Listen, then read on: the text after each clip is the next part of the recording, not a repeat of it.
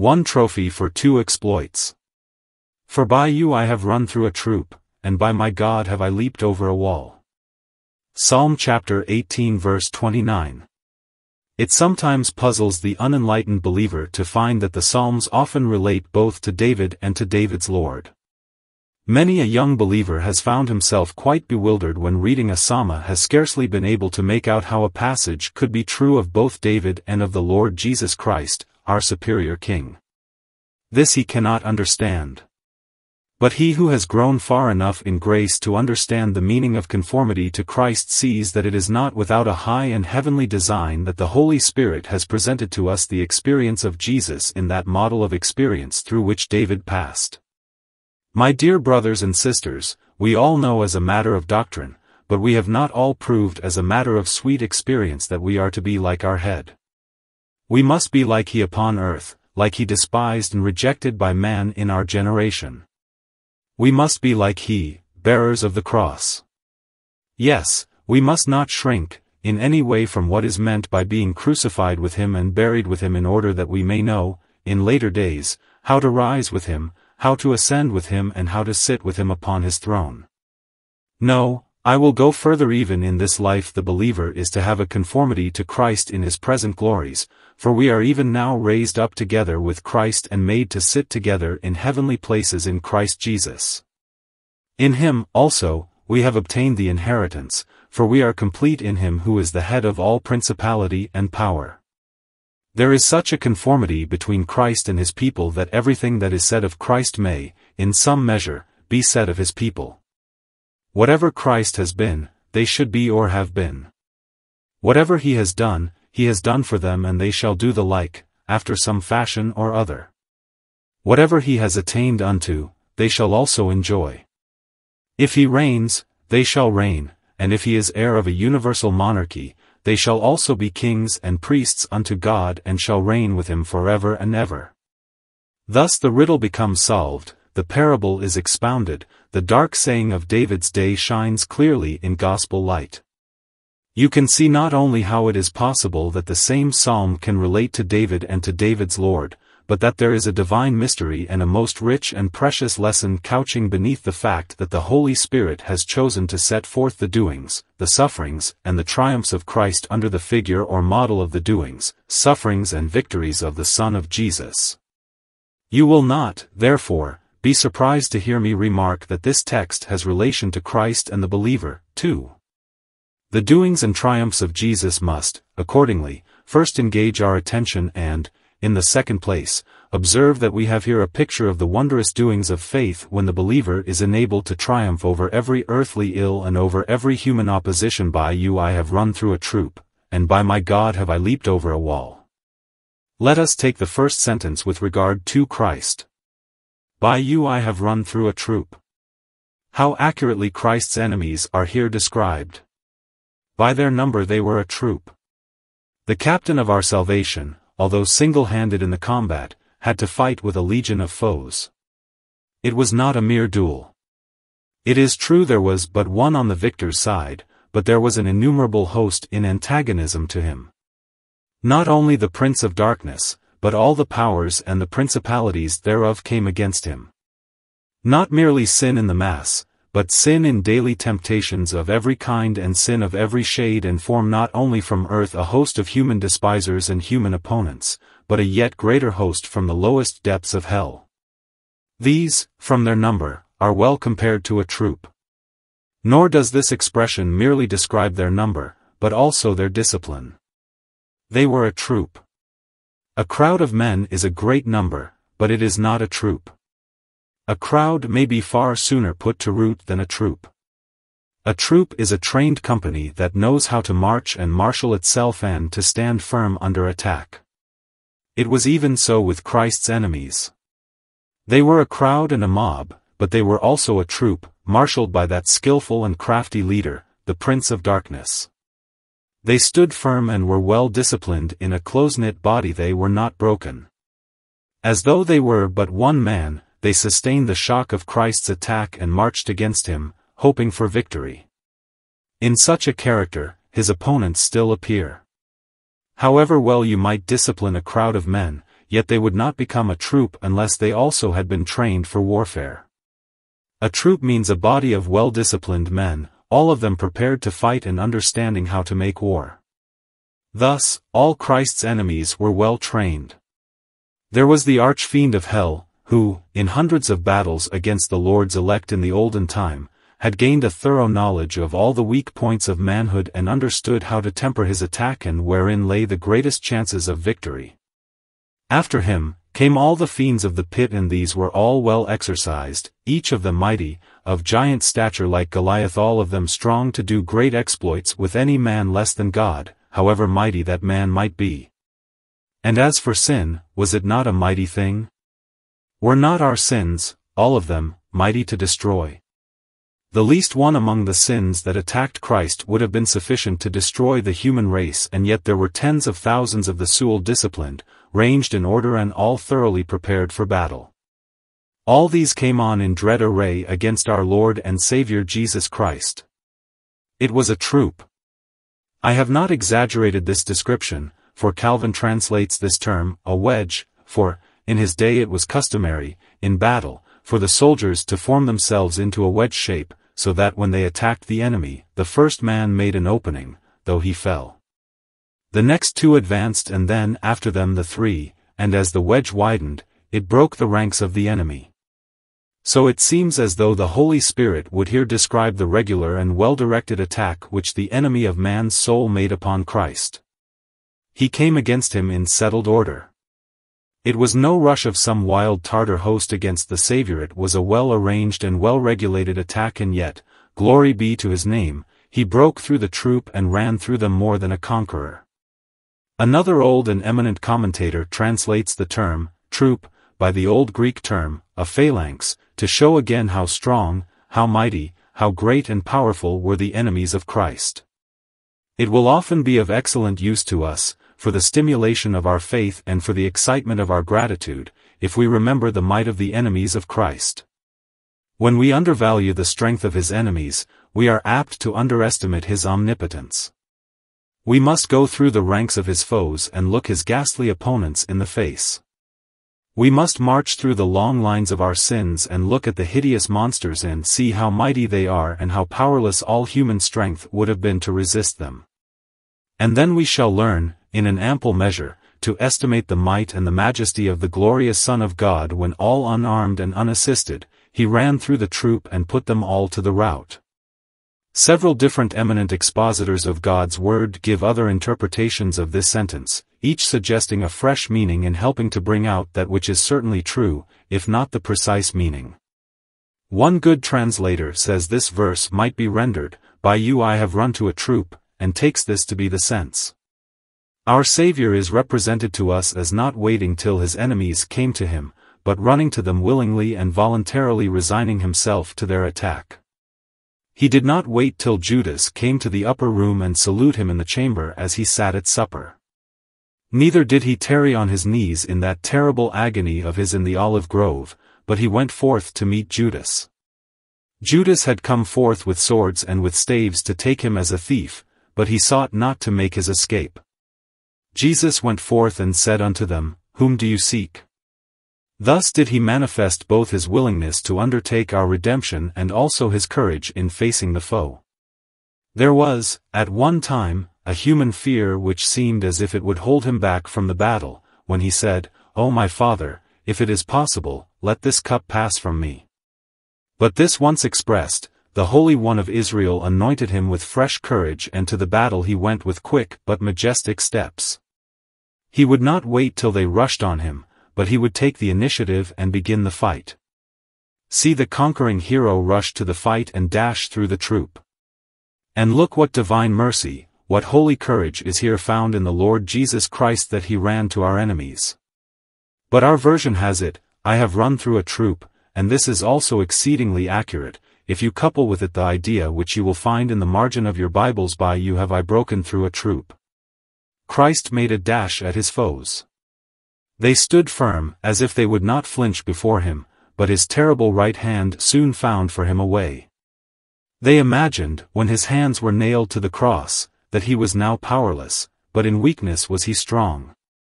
The bowing of his head, which they perhaps thought to be the symbol of his defeat, was but the symbol of his victory and, in dying, he conquered. In suffering he overcame. Every wound that he received was a death blow to his enemies and every pang that tore his heart was as when a lion tears the prey and Christ, himself, was tearing them when they thought that they were tearing him.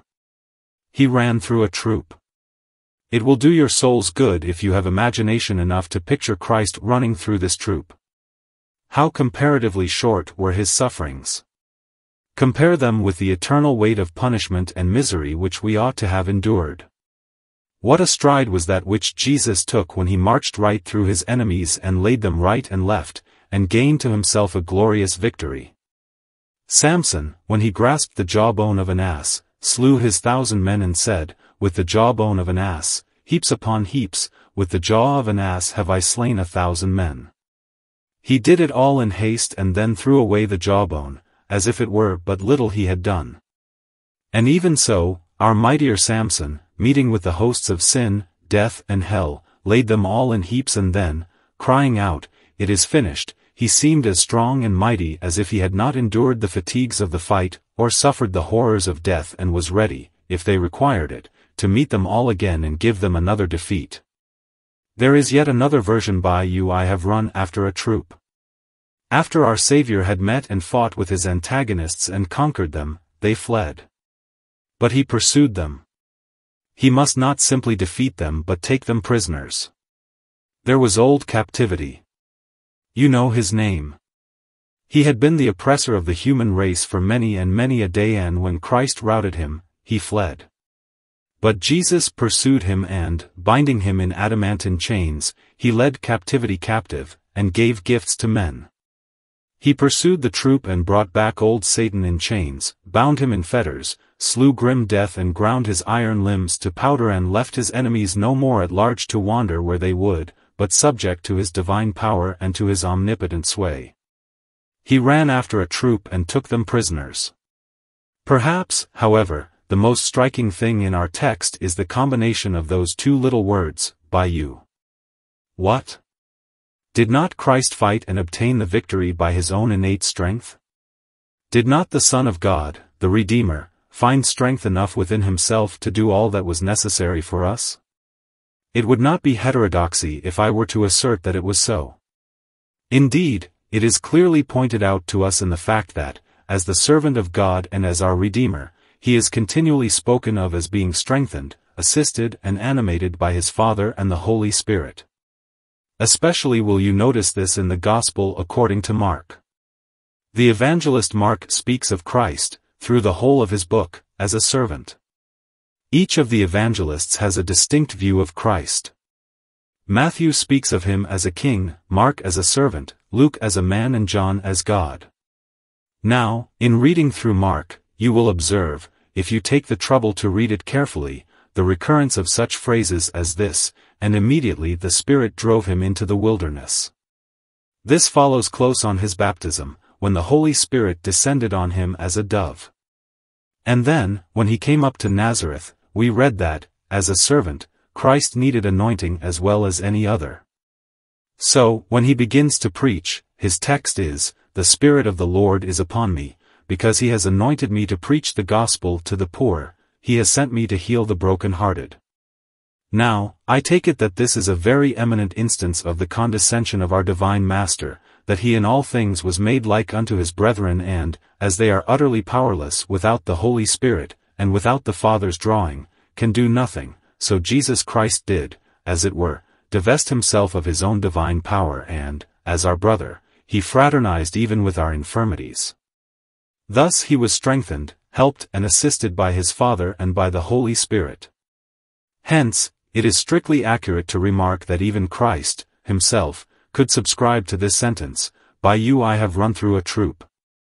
Does this seem to you, beloved, to lower your view of the person of Christ? At first sight it may seem so.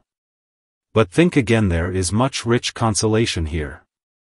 O my soul, learn that you have not only God the Son to be your helper, but that you have God the Father and God the Spirit also.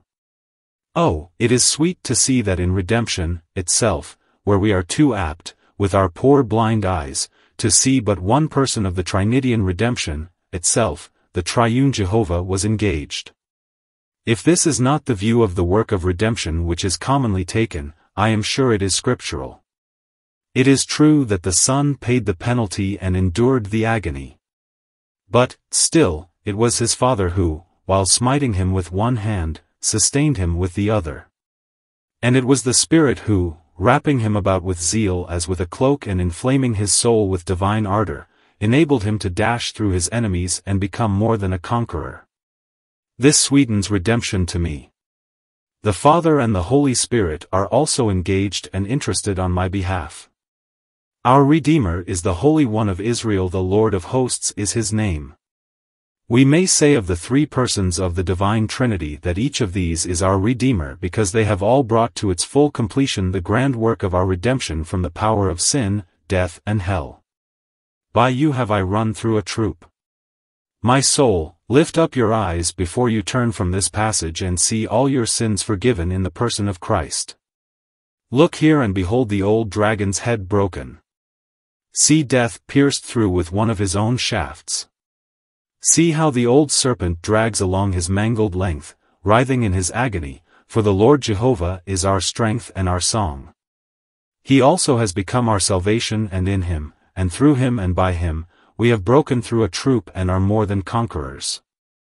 Let us now turn to the second sentence, By my God have I leaped over a wall. How is this to be understood? I think that David, if we take this as alluding to David, is here described as having stormed and taken some strongly armed and well-walled city. He had, by the power of God, taken the strong place from the inhabitants of Jebus and so he had leaped over a wall. But we are not now speaking of David, but of Christ. In what sense can we say that Jesus Christ has leaped over a wall? I must be allowed to be figurative for a few minutes. The people of the Lord had become the slaves of Satan and, in order that they might never more escape from his power, he had put them into his stronghold and had walled them round about that they might be his perpetual captives. There was, first of all, the tremendous bulwark of sin gathering strength from the law of God, with its ten massive towers mounted with ten hundred pieces of ordnance, in the shape of threats of destruction. This wall was so high that no human being has ever been able to scale it and so terrible that even the omnipotence of God had to be exercised before it could be removed. Next to this there was a second rampart it was the rampart of diabolical insinuation and satanic suggestion. Satan had not only allowed the law to stand so as to keep the soul in despair, but had added to this his own determination that he would not leave a stone unturned might he but keep the human race in his own power. Thus hell made the second rampart, while it seemed as if heaven had built the first. Outside thereof was a deep ditch and then another mound, called human depravity. This, as we must observe, was as difficult to be stormed as either of the others. Man was desperately set on mischief. He would be a sinner, let what might be said to him or done for him. He would seek greedily with both hands to work out his own destruction and that love of destruction, which was in his heart, constituted one of the great barriers to his salvation. Christ Jesus came and he leaped over all these walls. He came and in your redemption he broke through the law. No, he did not break through it he mounted it, he scaled it. The law of God stands, to this day, as fast and firm as ever not a stone has been taken down, not one of its castles has been dismantled there it stands in all its awful majesty, but Christ leaped over this. He paid the penalty, endured the wrath and so he took his people out of the first ward of the law. Whereas, after this came a second the wall of Satan's determination to keep them prisoners. Christ, our Lord and Master, dashed this into a thousand pieces, springing the tremendous mine of his covenant purposes and throwing the whole mass into the air and there it was destroyed, once and for all no more to hold the people of God in captivity and bondage. The last wall which he had to leap in order to get his people thoroughly free and bring them out of the stronghold of sin and Satan, was the wall of their own depravity. This, indeed, was hard work to storm. Many of his ministers went up to the stronghold and tried to storm it, but they came away defeated. They found that it was too strong for all human battering rams. They hammered at it with all their might, but there it stood, resisting the shock and seeming to gather strength from every blow that was meant to shake it.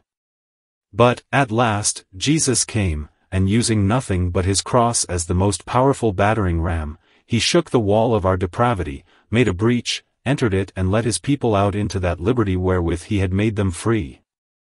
Oh, how sweet it is to think of Christ thus leaping over the walls. He would have his people. He came down to earth and was with them in all their misery and took upon him all their sin.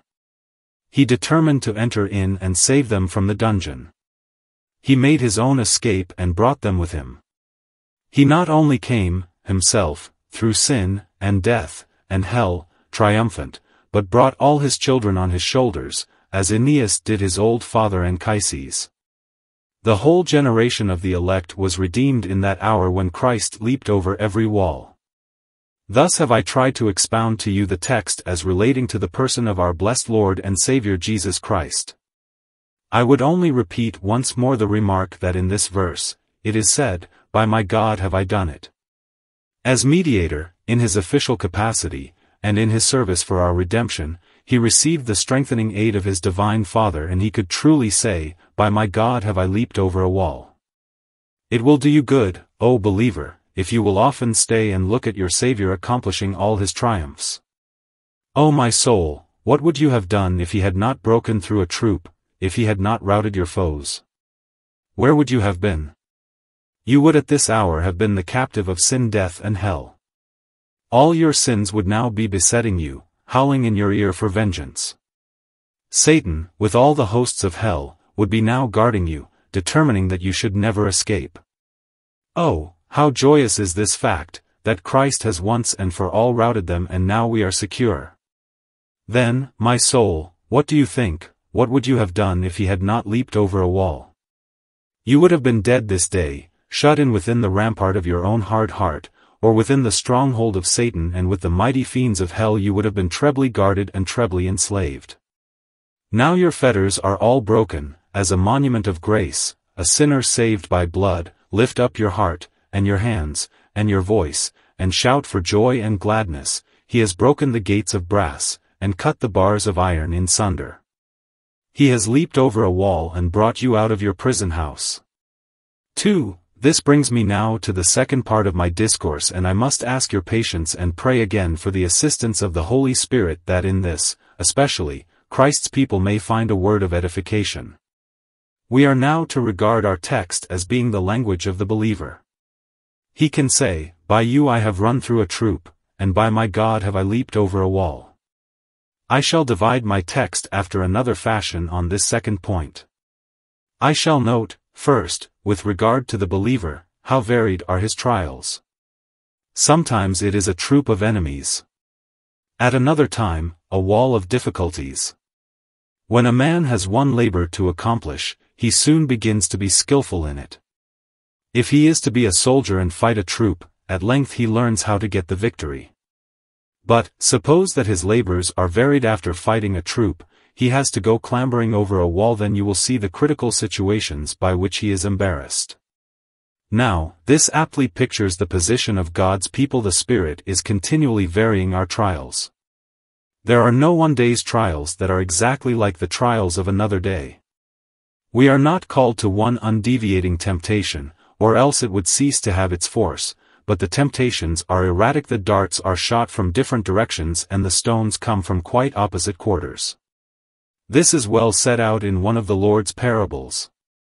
He speaks thus of the trials of the righteous there was a certain wise man who built his house upon a rock, and the rains descended trials from above. And the floods came trials from beneath. The winds blew mysterious trials from every quarter and they all beat upon that house and it fell not. Trials of every shape attend the followers of the Lamb. The archers come against us and we repel their fiery darts. The company of swordsmen come and we rebuke them. And then the slingers sling their stones against us and then the company of spearmen, so that we must be armed at all points and ready for every kind of attack. Our Savior in this was like to us. He says to us in one place, Dogs have compassed Methat was bad enough. Strong bulls of Bashan have beset me round. That was not all, they gaped upon me with their mouths, as a ravening and a roaring lion. Only fancy that. A man has to fight with dogs and then with bulls and then with lions and yet, this is just the Christian state. We cannot guess, from the trials of the past, what will be the trials of the future. We think it is to be all fighting, but we are mistaken. Some part of it is to be climbing over this or that wall. I have known God's people, sometimes, try to break through a wall and to climb over a troop. This is very absurd. If they had a troop of spiritual enemies, they have tried to climb over them and endeavor to escape them. At another time, they have had a difficult trial, like a wall, and they have been so headstrong that they must try to go through it. Ah, we have much to learn. Some things we must fight through. It is not always right for the child of God to let his courage get the better of his discretion. Let him have courage for the troop, to run through them, and discretion for the wall, and not try to run through that, or he will break himself in pieces. There are exercises and trials in various ways. The believer's trials, how varied they are. And, next to this, how unflinching is his faith. There is the troop, he runs through them. There is the wall, he leaps over it. He finds that his faith is sufficient for every emergency. When his God is with him, there is no difficulty too great for him. He does not stop to deliberate. As for the troop, he runs through that and then there is the wall at the other end that takes a leap and is over that. So, when God strengthens our faith, when the Holy One of Israel is with us and the might of omnipotence girds our loins, difficulties are only the healthy exercises of our faith. God will exercise faith. There is not a single grain of faith in the breast of any living believer that is not exercised. God will not allow it to sleep a sleeping faith, a dormant faith I do not believe such a thing exists. If you have faith, my brother, expect labor, for, as surely as God gives faith, he will put it into the gymnasium and make it exercise itself sometimes dashing at a troop and then trying its limbs another way, no more to exercise its arm in fighting, but its legs in climbing over a wall. We have all sorts of exercises to keep our faith in order that we may be ready for any emergency, whatever it may be. Some men seem as if they only had to meet one form of trial. They remind me of the Indian fakir holds his arm straight up that is the triumph of his strength. Now God does not exercise a believer's limbs till they grow stiff, but he exercises them in every way, that they may become supple, so that, come what may, he is ready to achieve any exploit. With faith, how easy all exploits become. When we have no faith, then to fight with enemies and overcome difficulties is hard work, indeed, but when we have faith, oh, how easy are victories. What does the believer do? There is a troop well, he runs faith, then, to fight with enemies and overcome difficulties. There is a hard wall, what about that? He leaps over it. It is amazing how easy life becomes when a man has faith. Does faith diminish difficulties? Oh, no, it increases them, but it also increases our strength to overcome them. If you have faith, you shall have trials, but you shall do great exploits, endure great privations and get triumphant victories. Have you ever seen a man made mighty through God? Have you ever seen him in an hour of desertion? He goes out, like Samson, to meet the Philistines. Oh, he says, I will shake myself as at other times. But his locks have been shorn and when the cry is raised, the Philistines are upon you, Samson, he shakes his limbs with vast surprise, makes a feeble fight and loses his eyes. They are put out, and he returns in blindness. But, when God is with him, see what the believer can do. They have woven the seven locks of his head with a web, and he just carries the loom away. Soon they bind him with seven green ropes that have never been dried, but he breaks them as easily as fire burns twigs. All things are possible, to him that belly of Esno, not only possible but easy when God is with him. He laughs at impossibilities and says it shall be done, for faith can do all things. By you I have run through a troop, and by my God have I leaped over a wall. And yet, though the victories of faith are thus easy, we must call to mind that these victories always are to be tracedto a divine source. That man who takes the credit of his victories to himself has no faith, for faith is one of the self-denying graces. Faith called a parliament of all the graces and passed a self-denying ordinance. It decreed that whatever any of the graces did, it should give all the glory of it to God. Christ once upon a time took the crown off his head and put it on the head of faith. When was that? You ask. Why, Christ healed the poor woman and, therefore, it was he who deserved the crown, but, he said, Your faith has saved you, go and sin no more. He thus put the crown upon faith. What was the reason? Why, because faith always puts its crown on the head of Christ. True faith never wears its own crown. It says, Not unto me, Lord, but unto your name be all the glory. This is the reason why God has selected faith to achieve such mighty victories, because faith will not allow the glory or honor to cleave to its own wings, but shakes off all self-praise, just as Paul shook off the viper into the fire.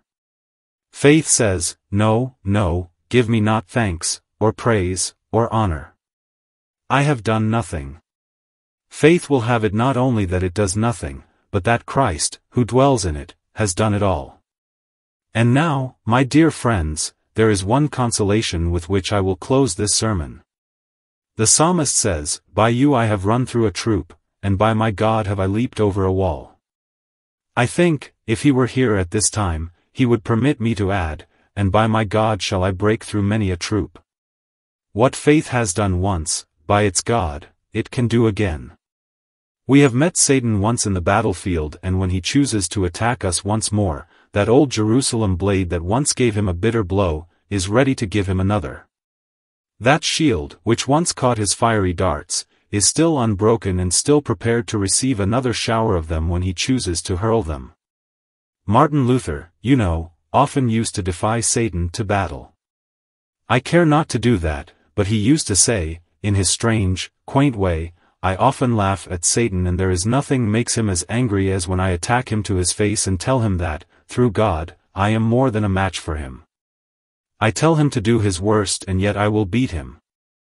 And I tell him to put forth his fury and yet I will overcome him. This would be presumption if done in our own strength. It is only faith in the grace of God that can enable us to say so. He that has made God his refuge need fear no storm, but, just as sometimes in Christmas weather, the wind and snow and storm outside make the family fire seem warmer, and the family circle seem happier, so the trials and temptations of Satan do sometimes seem to add to the very peace and happiness of the true believer while he sits wrapped up in the mantle of godly confidence. Let cares like a wild deluge come. And storms of sorrow fall. May I but safely reach my home. My God, my heaven, my all. And when we know that we shall reach our home, even the storms or the tempests matter but little. Come, poor believer, pluck up your courage. I have tried to give you some strong meat feed upon it. As the Lord Jesus Christ had a troop to face and broke through them, so shall you. Even as he overcame, so shall you overcome. Did he enter heaven and is there a long cloud of witnesses streaming and behind him everyone a warrior? So, if you are his warrior, you shall be one of that long stream. You, also, shall wear a crown and wave the palm, and sing a song of victory, and talk of triumph purchased through the blood of and achieved through faith in the Lamb. And, dear friends, what may we expect if we do this? What may the fainting ones expect if the power of God rests upon them? They may expect that when the youth shall faint and be weary, and the young men shall utterly fall, their power the power that they have received from God shall become the more conspicuous. The promise is, They that wait upon the Lord shall renew their strength, they shall mount up with wings as eagles. That is the first thing we shall do. We who were faint and feeble and lying among the pots shall be, as the wings of a dove covered with silver, and her feathers with yellow gold, and we shall mount above the clouds in an ecstasy of holy joy. Power will be given us to look the sun in the face even as the mighty eagle does. But we shall do more than that they shall run, and not be weary. But, you say, running is not so noble an action as flying. That is what you think that is what young people naturally think, for they are anxious to fly high but, as you grow in grace, you do not care so much for flying. You are content to move more soberly here below. You run at a quick pace and if God's power is really resting upon you, you are not weary. But you shall advance yet another stage, for the promise ends thus they shall walk, and not faint. But, ask someone, is that advancing going from running to walking? Yes, it is. You do not read much in the Bible about running with God, but you do read a good deal about walking with God. That expression means that you go at a good steady pace in which a man may continue all his life. It is the lad who runs in his play, but older people, who are attending to the business of life, are not runners, but walkers and they get over the ground at a good solid pace. Now, if the power of God rests upon us, we shall sometimes take the eagle's flight away we shall go, far beyond the experience of ordinary Christians and get up there among the sublimities. But, if God's power is upon us, we shall also be eager to be employed in his service and shall rush forward with holy impetuosity and flaming zeal. But, better still, if the power of God is on us, we shall learn how to plod on in our daily life in obedience to the will of God, whether it is in the domestic circle, in the common round of business, or in the service of the Lord. We shall, in fact, make our whole life a continual progress towards heaven through the grace and power of God. So may it be to each one of you and in your experience may the Lord fulfill his ancient word, he gives power to the faint, for his dear son's sake. I must pause one moment while I address myself to those who know nothing of God and nothing of Christ. Well, my hearers, you have a troop, too, and you have your walls of difficulty. But you have no God to help you. Whatever trials the believer has, he has a God to fly to. Look, said a poor woman to a lady who called to see her, look, ma'am, I'll show you all I'm worth. Do you see that cupboard, ma'am? Look in. Yes, said the lady, who looked, and saw but little, but there is nothing in it but a dry crust. Well, continued the woman, do you see this chest? Yes, I see it, but it is empty, was the reply. Well, she said, that is all I am worth, ma'am, but I have not a doubt or fear with regard to my temporal affairs. My God is so good that I can still live without doubts and fears. She knew what it was to break through a troop and leap over a wall. Now, perhaps there are some of you with cupboards just as empty as that poor woman's but you cannot add, I have a God to go to. O miserable creature miserable if you are rich, thrice miserable if you are poor to be like a packhorse in this life, carrying a heavy burden and then not to be unloaded at the grave, but to have a double burden laid upon you. O poor men and women without Christ with the few comforts which you have in this life, with its many privations, with its hunger, thirst and nakedness, oh, that you should not have a better world to go to. Above all, it seems a miserable thing that you should go through poverty here to a place where a drop of water shall be denied you to cool your burning tongue. If Christ is precious to the rich on earth, you must think that there is a peculiar sort of relish with which the poor man feeds on the bread of heaven. But, you ask, may I not have a hope of heaven? Assuredly, my friend. Do you long for Christ at this moment? Then he longs for you. Do you desire to have him? Then he gives you that desire. Come to him, for the message of the gospel is, Whosoever will, let him take the water of life freely. None are excluded hence but those who do themselves exclude. The invitation is free. May many accept it. Oh, that some of you may be led to go to your houses, now, and on your knees ask for forgiveness of sin and seek that you may become the children of God through faith in the precious blood once shed for many for the remission of sins. Amen. Pray the Holy Spirit will use this sermon to bring many to a saving knowledge of Jesus Christ.